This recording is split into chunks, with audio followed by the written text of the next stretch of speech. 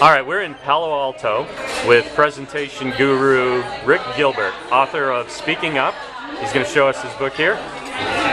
Speaking Up, available on Amazon.com. And Rick's going to pick a metaphor, a photo that's a metaphor for speaking up. And that was fast. All right, so tell us about the picture you chose, Rick. This shows an ocean wave crashing on a beach at sunset.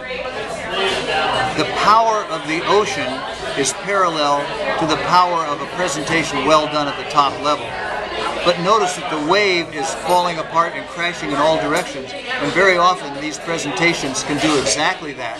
And the presenter who can handle it well appreciates that going in, is ready for both the power and the chaos that can erupt in one of these meetings.